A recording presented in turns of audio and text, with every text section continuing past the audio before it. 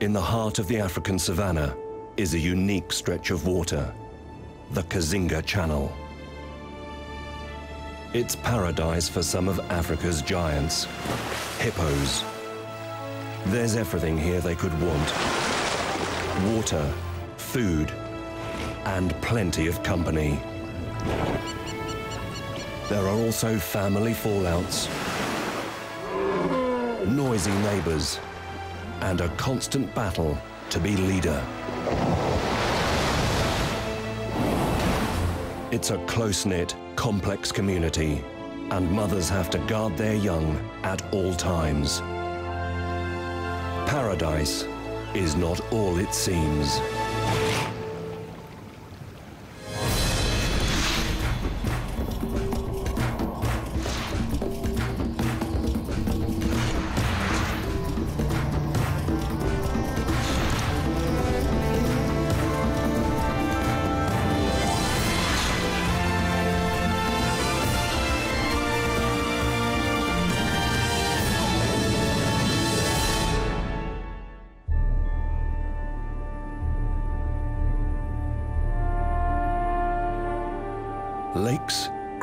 And forests help to shape one of the world's greatest wildlife refuges. The Queen Elizabeth National Park in Uganda. The Kazinga Channel winds through the park and splits it in two. It's 41 kilometers long and links two huge lakes.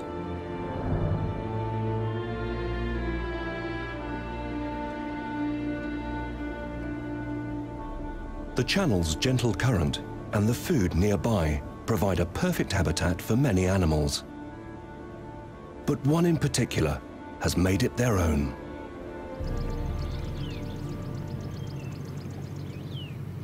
It's September, the height of the dry season. A flock of cormorants tries to combat the heat. They face the wind and flutter their throats.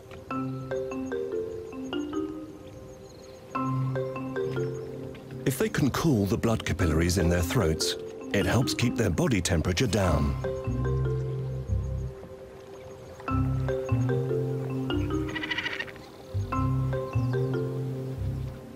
Their neighbors, the pelicans, are trying to do just the same thing.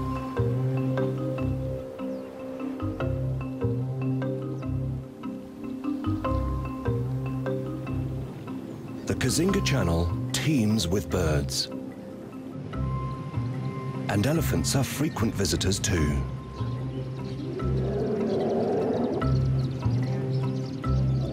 They need to drink around 90 litres of water a day, so the channel is a lifeline.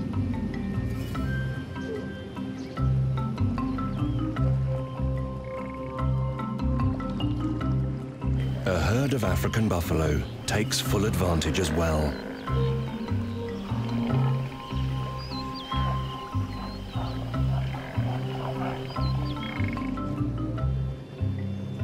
But some of the Kazinga's residents are keeping a lower profile. The channel is also home to some other giants.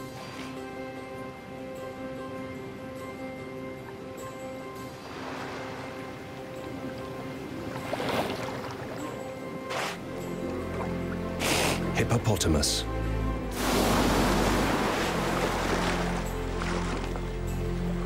Above water, hippos are an imposing sight. Their jaws stretch to 150 degrees, and their teeth can reach 20 centimeters long.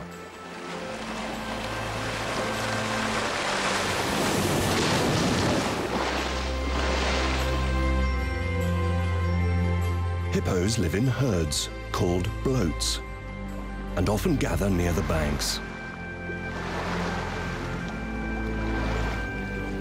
In the shallows they can stand up, and that's a big advantage. For animals which live in water, hippos are surprisingly poor swimmers.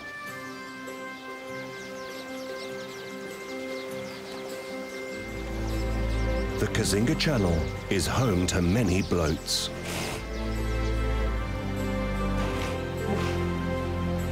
Usually there are 10 to 20 hippos in each one, and space is at a premium. Sometimes just 50 meters separates rival groups.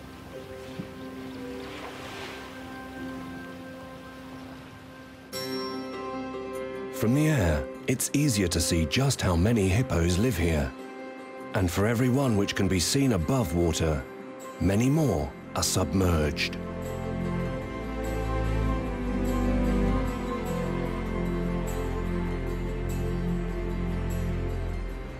For its size, the Kazinga Channel has one of the highest densities of hippos in the world.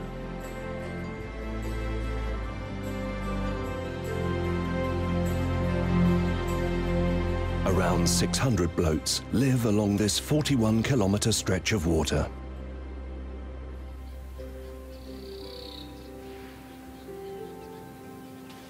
This is one of the Kazinga's prime territories. And this is the bloat which has claimed it as their home.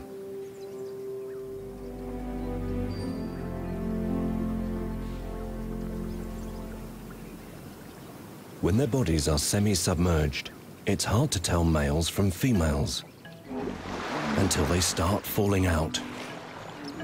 It's usually the males who fight.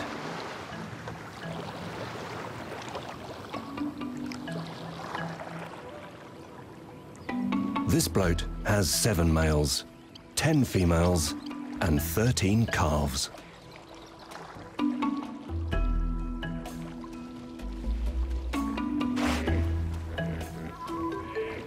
And one hippo towers over them all, the dominant male.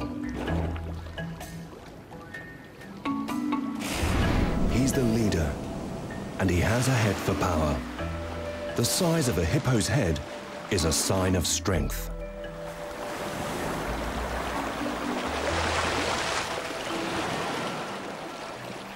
Some hippos live for over 40 years, and the dominant male shows the signs of old age deep battle scars under his eyes.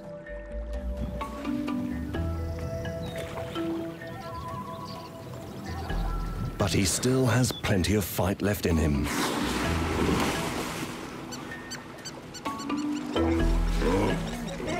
One of the young males starts fighting.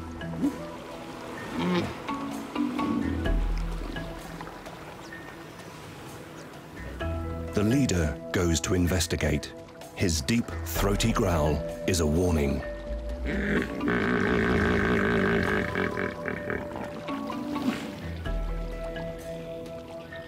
The young troublemaker ducks for cover.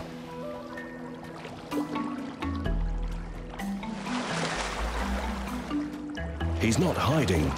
Raising and lowering his head is a sign of submission. By deferring to his leader, the young hippo should be able to keep his place in the bloat. The dominant male demands respect. Another young hippo swims by. As he passes, he splashes water over his leader. It's another sign of deference.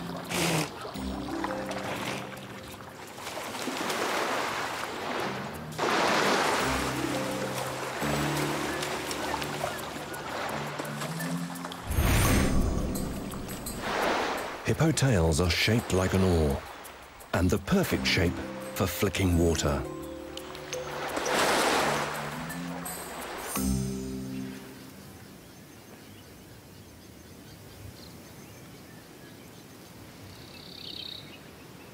It's a bright, hot day, and as usual, the bloat is relaxing close to shore.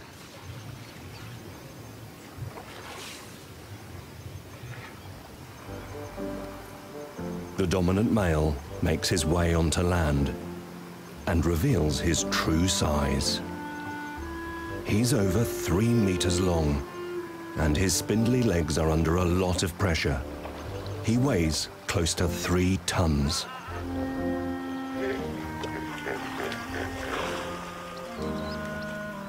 Gang of calves follow him. They're barely half his size. A smaller calf sticks by its mother's side. Females give birth every two to three years and keep their calves close until they reach around seven years of age.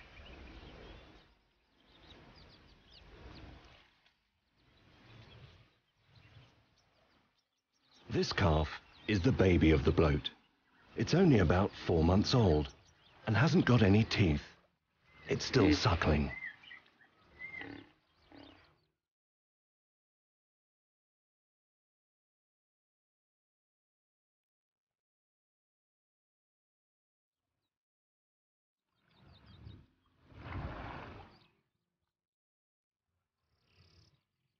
Calves survive solely on their mother's milk until they're around eight months old. The mother is always on guard. One of the males moves too close for comfort, so the mother uses her body as a shield to protect her baby.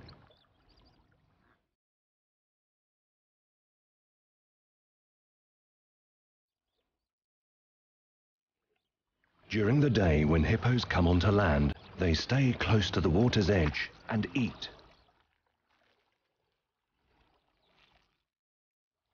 They survive by eating grass.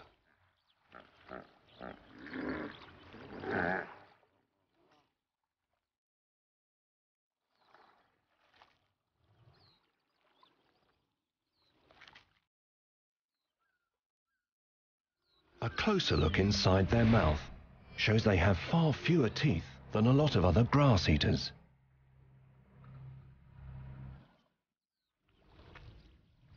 They simply rip it out of the ground instead.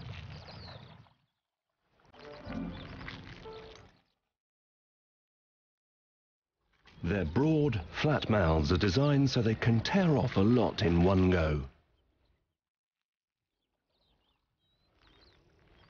They wander the banks like giant lawnmowers, eating everything in their path.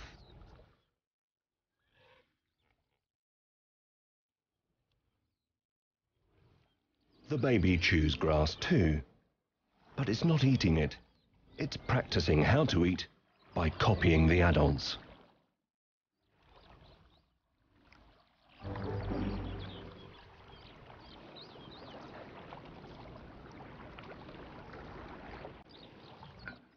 Now the calves have fed. It's playtime.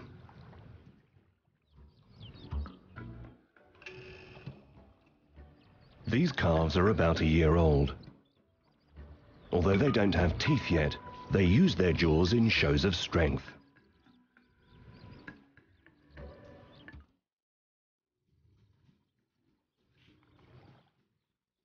They wrestle with their mouths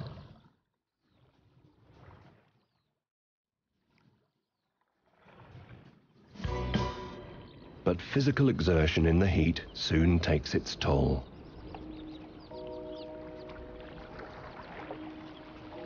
Grooming is a gentler form of bonding.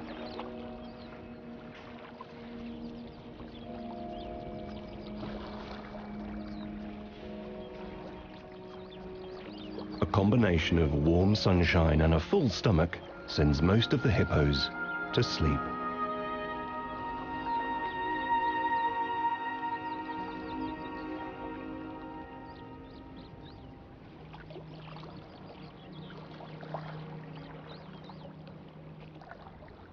That seems to be it for the afternoon. The whole bloat relaxes. All except one. The baby's mother is wide awake and on guard as usual.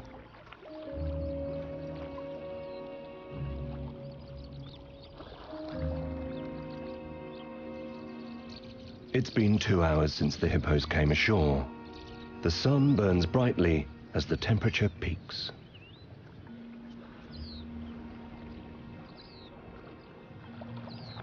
For mother and baby, it's all too much. Hippo's skin is thin, and if they spend too long in the sun, it starts to crack and blister. It's one reason they can never go too far from the water in the daytime.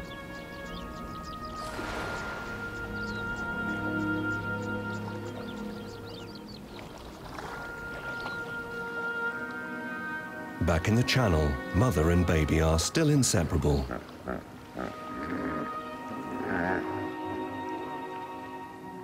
The baby stands on its mother's back.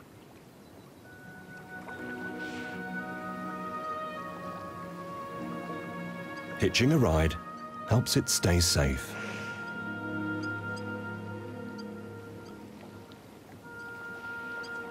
Hidden underwater, the mother stays as still as possible. Coming up for air means a chance to keep an eye open for danger.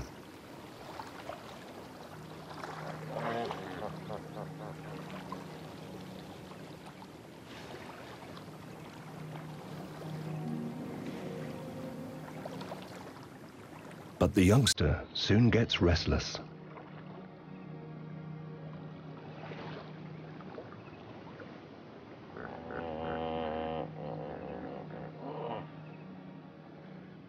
The baby will continue to suckle until it's about eight months old.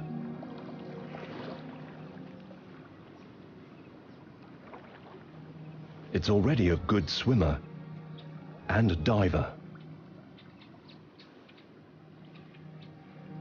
It's ducked underwater to feed.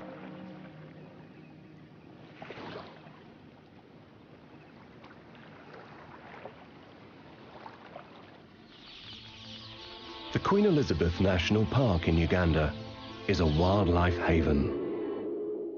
95 species of mammal live here. 605 different species of bird. And there is no other place where so many hippos live in such close confinement. They are found in other parts of Africa, but conditions in the park are extra special. Much of the reason why has to do with the land that surrounds it. The Great Rift Valley.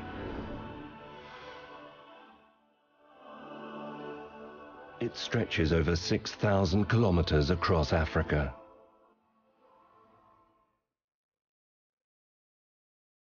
Queen Elizabeth National Park is to the west of the valley.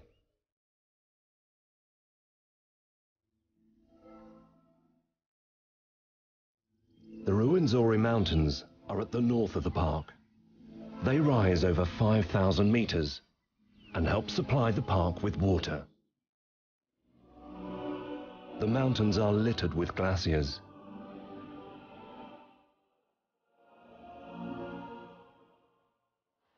Meltwater from the glaciers gathers at the bottom of the valley, along with rain.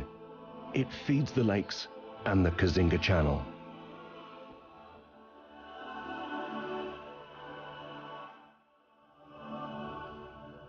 The lie of the land also plays an important role. The two lakes connected by the Kazinga Channel are in a flat area. There is barely any incline, which is why the flow of water along the channel is so gentle.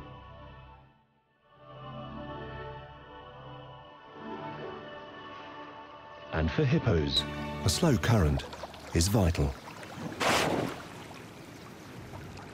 They like to submerge themselves so only their eyes, ears, and nose break the surface. This makes it difficult for predators to spot them.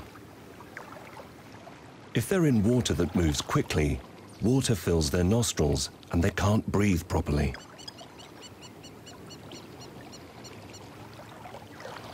On top of that, if the current is too strong, young calves could get swept away.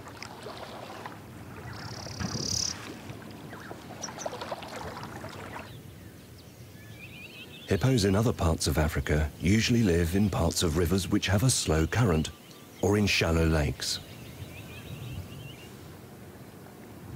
The mother and baby couldn't have a better home.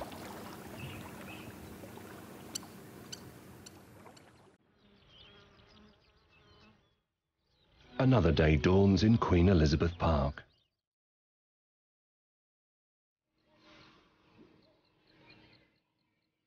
The bloat slowly starts to stir.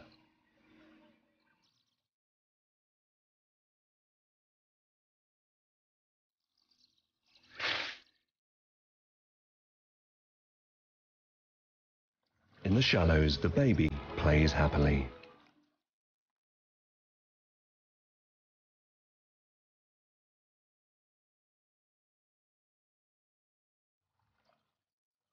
Suddenly, the peace is shattered. Hadada ibis are noisy neighbors, and the hippos don't like it.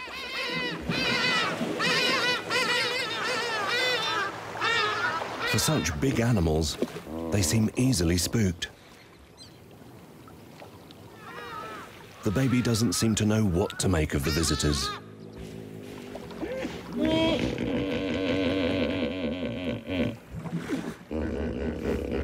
And ibis are just the start of the bloat's problems. The baby is first to spot more uninvited guests.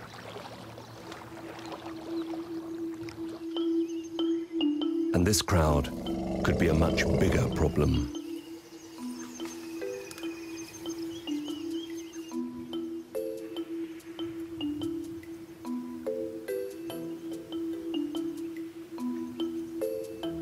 The elephants start to drink close to the bloat.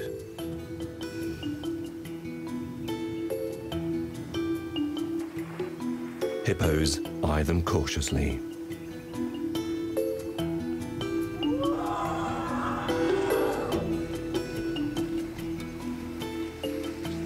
The elephants don't just want a drink. They want a bath too.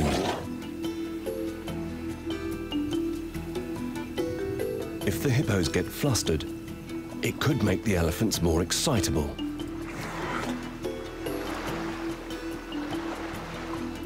Elephants are twice as heavy as hippos, and they're boisterous bathers.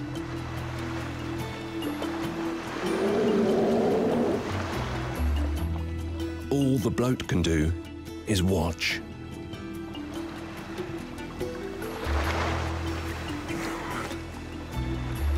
But one of them could be in harm's way. The baby is dangerously close.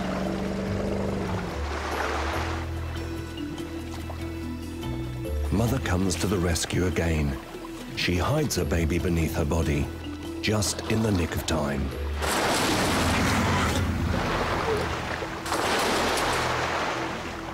One elephant seems to have a point to prove.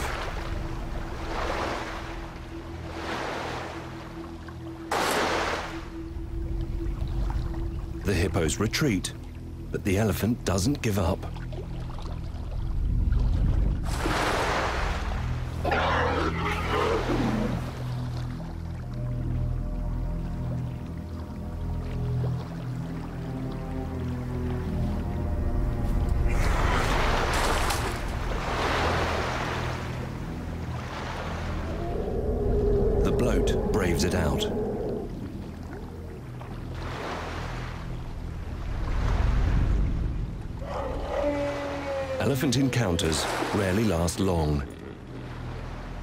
It's a tense waiting game. The elephant seems intent on causing chaos.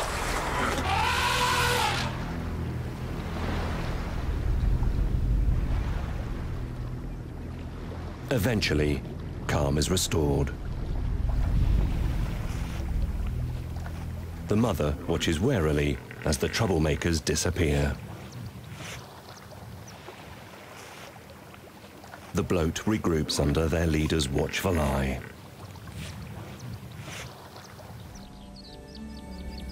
Night closes in.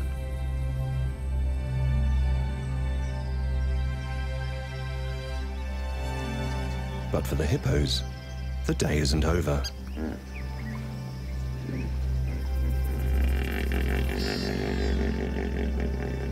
Hmm.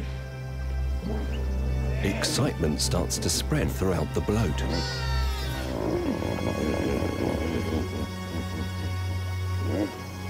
They make much more noise than they did in the daytime.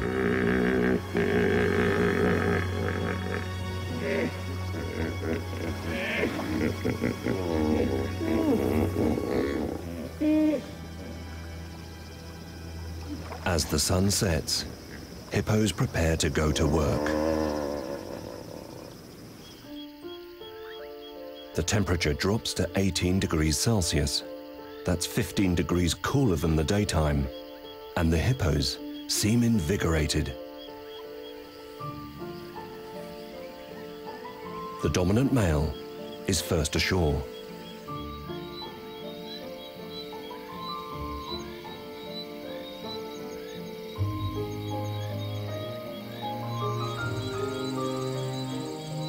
The bloat follows his lead.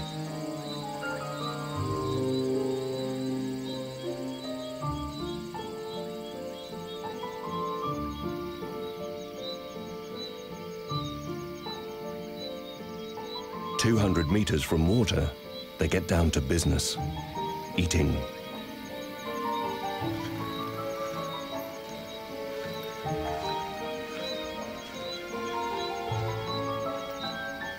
Hippos only start feeding properly once it's cooler. A short way from the shore, there's much more grass, and hippos need all the food they can get. Fully grown, they can weigh up to four tons.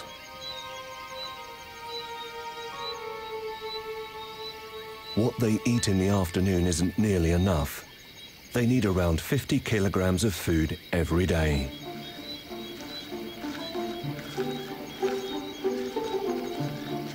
And that's a lot of grass.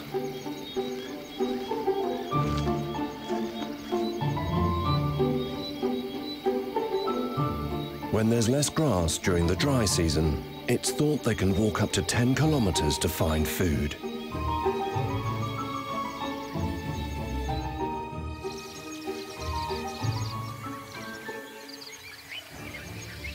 Is breaking by the time they slowly wind their way back to the water.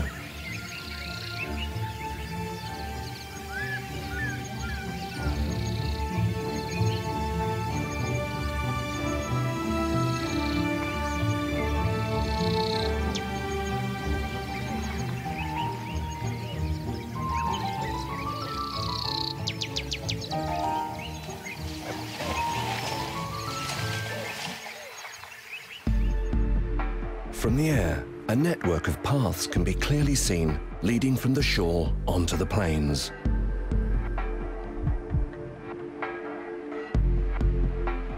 They're hippo roads, well-worn paths made by hungry hippos. And each bloat has its own road.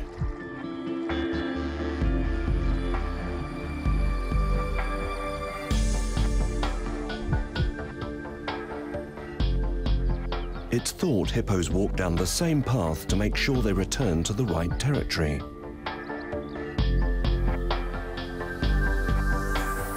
Roads have been worn down over many generations.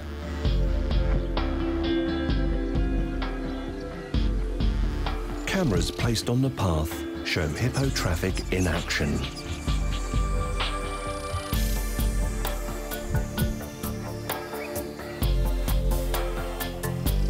The bloat walks back to the water in single file.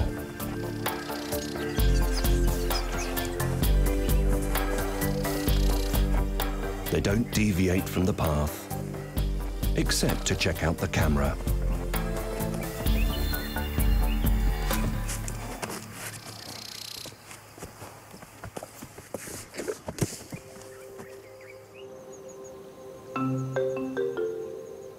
The hippos return home after a busy night, other animals are just getting started.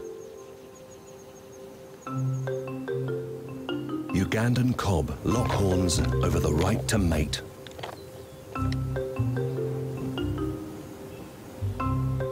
While a family of warthogs forages for food.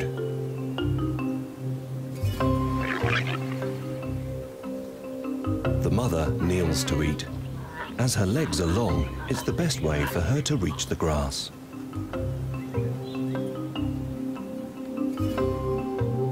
Her piglets follow her lead.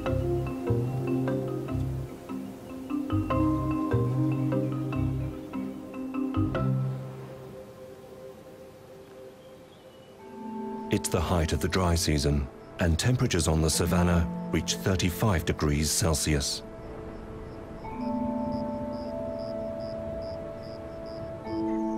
Escaping the heat is a challenge for everyone.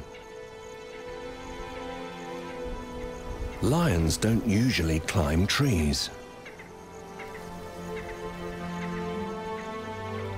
But in Queen Elizabeth Park, they play by different rules.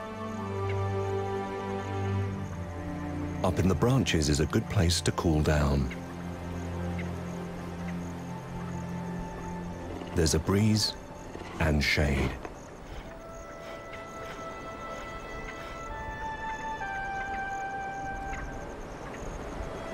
It's so popular, space is at a premium.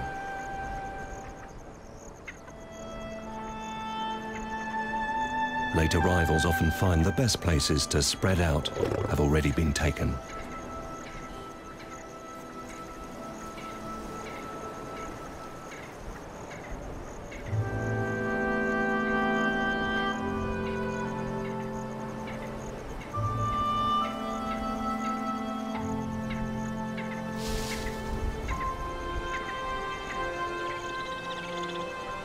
Luckily, there's usually room nearby.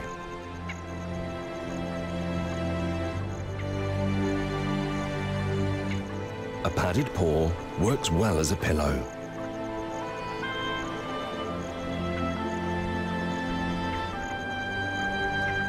The branches don't look comfortable, neither do the thorns. But the breeze obviously makes it worthwhile.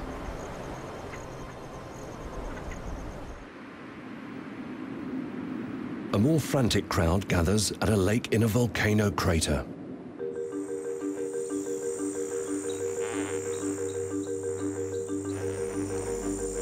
Flamingos flock to salt lakes, so called because of their high saline content.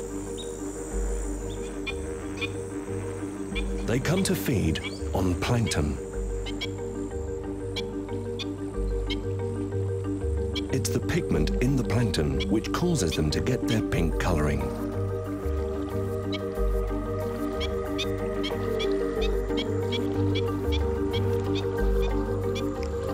And the sight of them feeding is one of the Queen Elizabeth National Park's main attractions.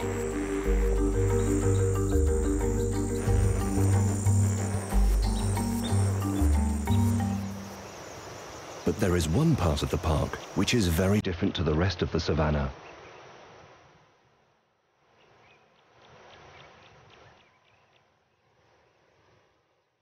Deep in a valley which cuts through the grasslands is a thick forest. Mist sinks into the valley and feeds the trees with moisture. And it's home to some of Africa's most iconic animals. Chimpanzees. There is plenty for them to eat here.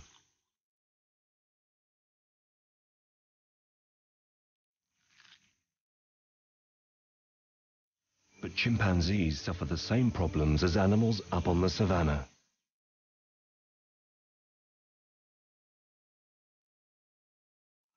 Trying to keep cool. The humidity in the valley is even higher. But chimpanzees have a way to cope, which hippos would appreciate. They lie on the cool forest floor and do as little as possible.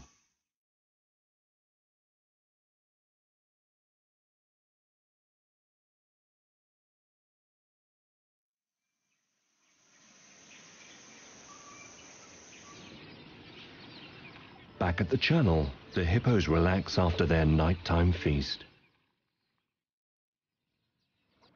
They've developed some special skills from spending so much time in the water.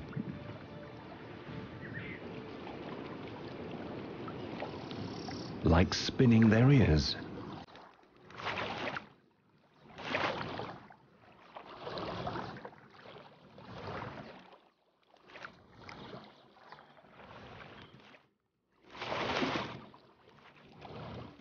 By rotating each ear, they can splash water over their heads.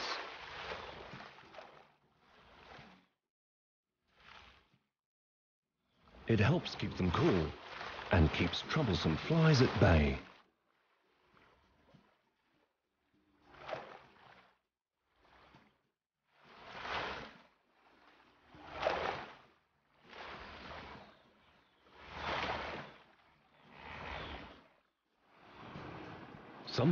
Hippos are surprisingly acrobatic too.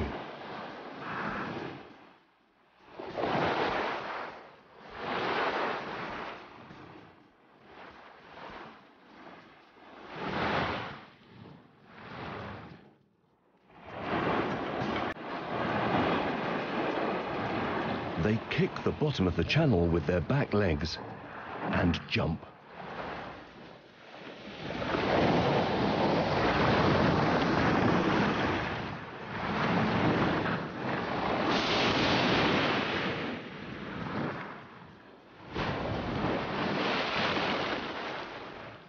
Morning, it looks like the hippos are simply playing.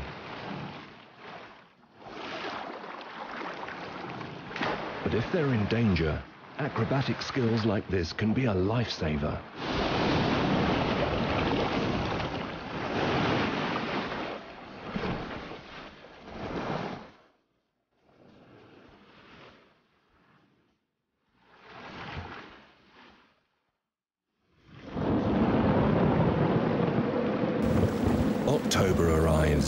Start of the rainy season.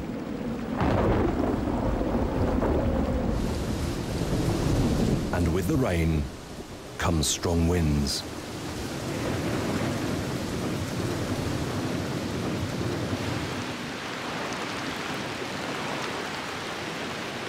The Kazinga Channel becomes much choppier.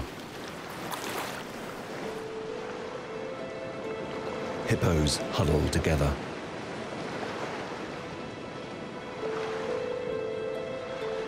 They plant their legs to the ground and stand as still as they can.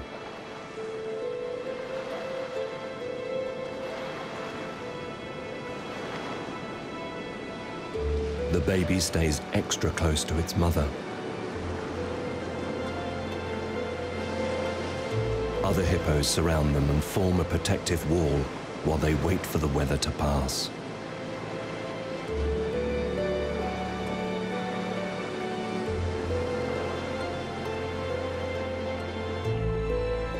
Rain encourages grass to grow. Fresh grass is good for hippos and many other animals.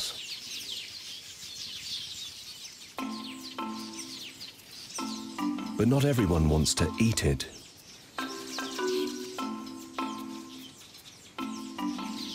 Black-headed weaver birds weave it to make their nests. It's how they got their name.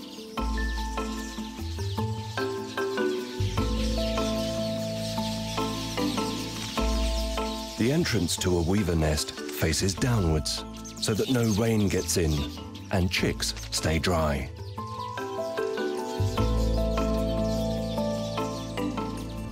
Another bird is preparing to raise young too.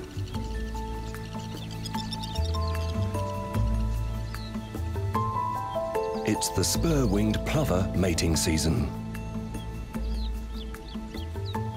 Birds get their name from the sharp claws on their wings. And despite their small size, they are notoriously aggressive birds.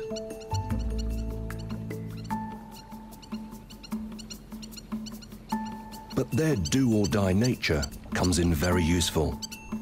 A Nile monitor wants the plover's eggs. the plucky parents won't give them up without a fight.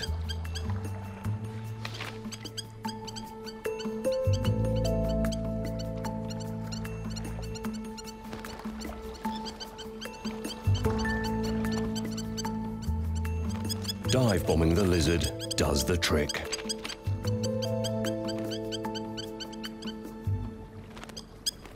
It slinks off in search of an easier meal.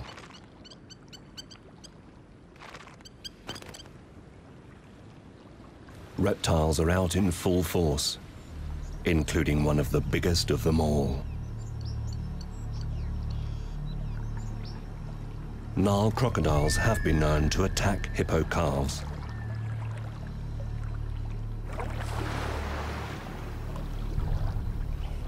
And this one is dangerously close to the bloat.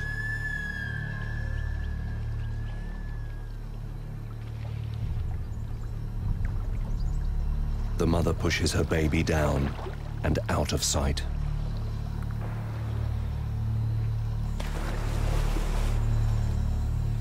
Most crocodiles wouldn't risk attacking an adult hippo. And this one is no exception.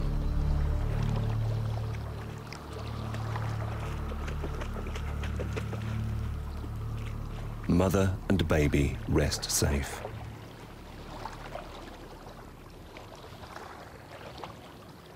But more trouble is brewing closer to home.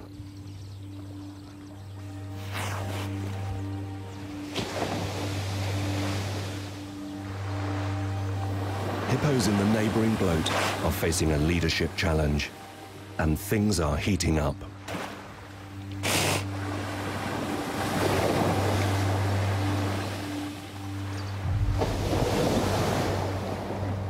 Young male on the left wants this territory and has challenged the dominant male on the right.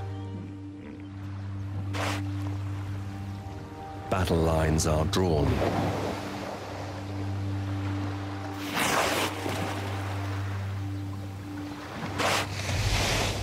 But the young male has underestimated his foe.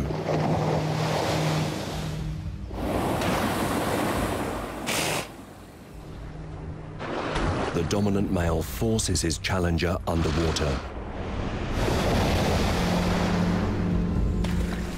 It's too much for the young male to take. He beats the water in surrender.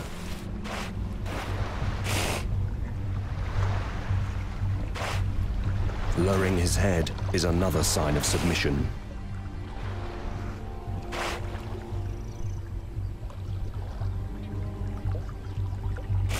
But he hasn't given up his quest for power. He slowly swims into the prime territory.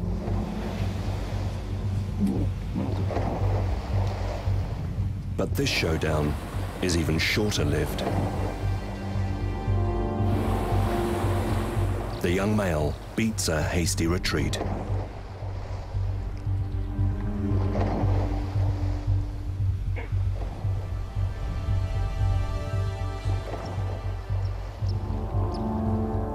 Escapes the prime territory, but he's still in trouble.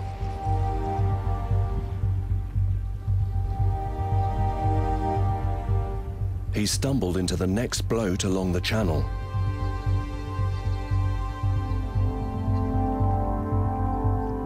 And he's not welcome here either.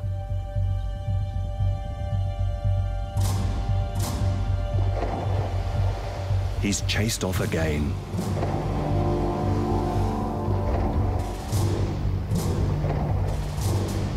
And he's burning up a lot of energy. Now he's heading back the way he came. Straight towards the Prime Territory's leader again.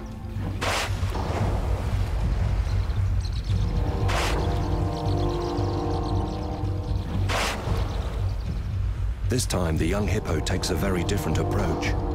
He swims in front of the dominant male and beats the water with his tail straight away.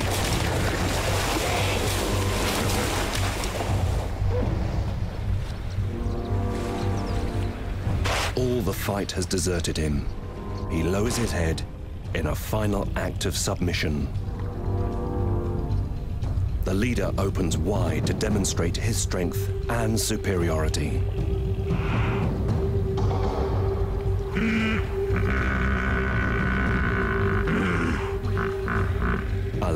Grunt seals it.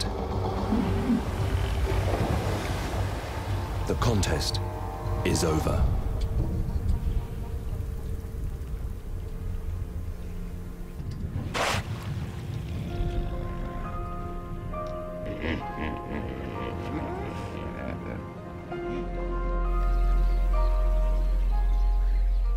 It's now late in the rainy season, and mist hangs over the channel.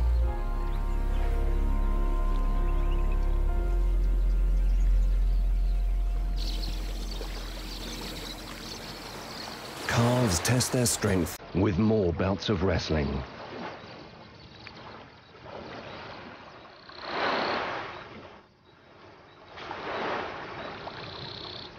They are around four years old, and their teeth are clearly visible.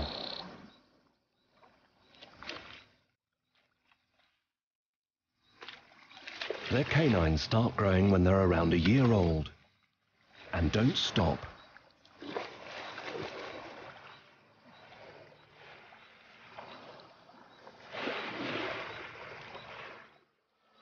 Calves now have a new member of their gang.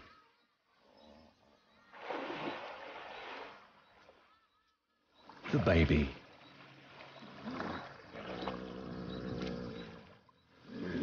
And for once, its mother isn't right by its side.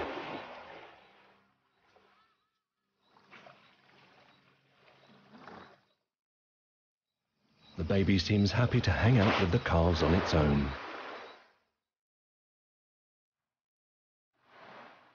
It flaps its tail enthusiastically as a greeting to its new friends.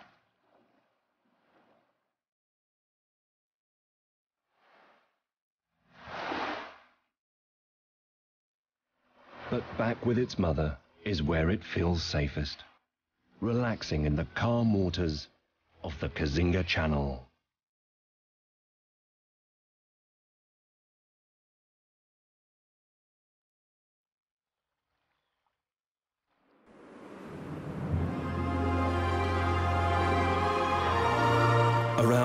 5,000 hippos live along the Kazinga Channel in Uganda. Across Africa, many of their natural habitats are being destroyed as people encroach on the land. Some fall prey to poachers too. But here, in Queen Elizabeth National Park, they live in relative safety. As long as they have grass to eat and calm water to live in, hippos will live and breed in the Kazinga Channel, the hippo's paradise.